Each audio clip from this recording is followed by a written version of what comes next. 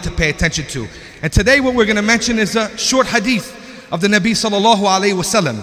فيما يرويه إمام أحمد في مسنده وابن ماجه في سننه وغيرهما أن رجلا حديث رواه أبي أيوب الأنصاري أن رجلا جاء إلى النبي صلى الله عليه وسلم فقال يا رسول الله علمني وأوجز A man came to the Prophet sallallahu alaihi wasallam and told the Prophet sallallahu alaihi wasallam, "Teach me, but when you teach me, I want you to make it concise.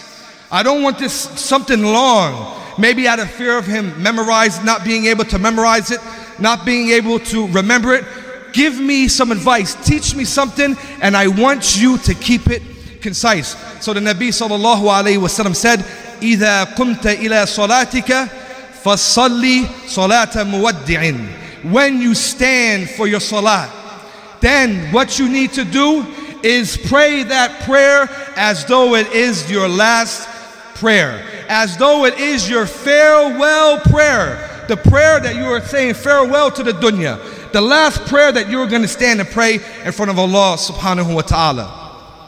ولا تكلم بكلام ولا تكلم بكلام يعتذر منه do not speak a word or do not speak speech that you're going to later on have to apologize for it. Speech that later on you're, you are going to regret. And then the Nabi sallallahu wasallam says al yas amma fi aydin nas. And despair.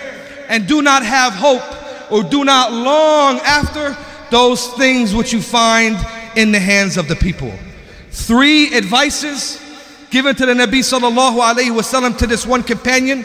If we would understand it, if we would memorize it, if we would contemplate over it, and we would put it into practice, then the slave would achieve the best of the dunya and the best of the